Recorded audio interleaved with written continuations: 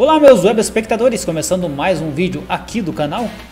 E nesse vídeo quero mostrar para vocês aí uma reportagem legal que eu vi hoje no Globo Esporte. É uma reportagem sobre o, o jogo League of Legends. E o Ronaldo Fenômeno patrocina um dos times do League of Legends, que é o CNB. Então achei bem interessante, gravei no celular, tá? Espero que a Globo não me, não me enche o saco pelo vídeo. E vamos rodar então e vejam aí enquanto está no ar. Não sei quanto tempo vai ficar aí se a Globo não mexer o saco. Beleza? Vamos lá então para o vídeo. O Flamengo aqui é novato e a CNB é o time com grande experiência no cenário. Olha só. É possível que um time seja mais antigo do que o próprio esporte em que ele compete? Fundada em 2001, a CNB está brigando para ser campeã de um game lançado em 2009. Tem camisa aí que é mais velha que isso, da época em que eles competiam em outros jogos. Não é contraditório, é contradição. Com o peso dessa história que eles vão em busca do título. É uma honra estar jogando aqui. Eu diria que todo mundo que está aqui nesse momento já, já, viu a CNB de muito tempo atrás, que era uma, uma organização muito grande e que com certeza estar tá vestindo o manto deles é, é, algo muito bom de fazer. E o manto mudou de cara nesse ano. O Brasão ganhou o rosto de um rei. A gente queria passar exatamente o que a gente tem de melhor, que era a tradição, e queria passar também o poder né, de ser uma das maiores equipes da América Latina. A CNB também podia impor respeito se, em vez do rei, colocasse ali o fenômeno.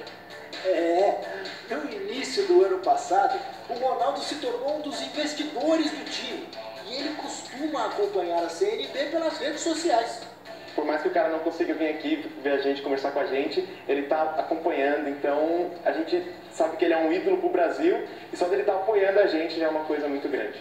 E neste fim de semana o Ronaldo deve secar o Flamengo.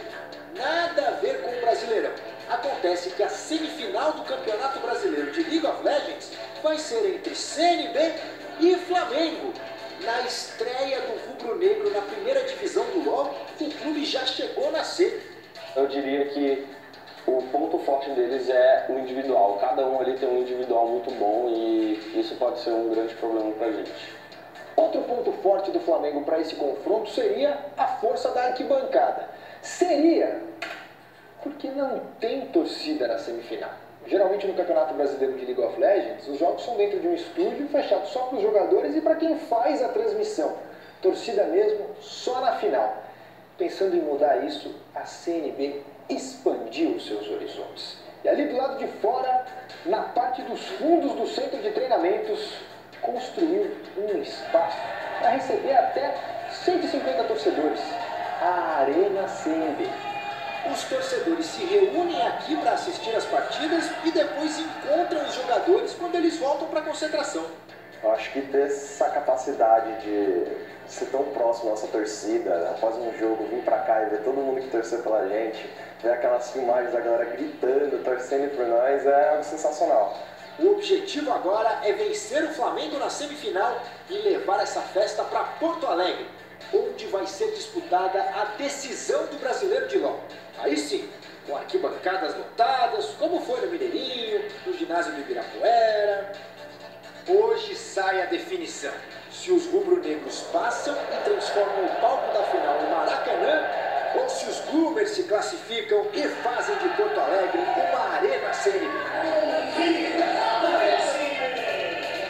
Amanhã o líder São Paulo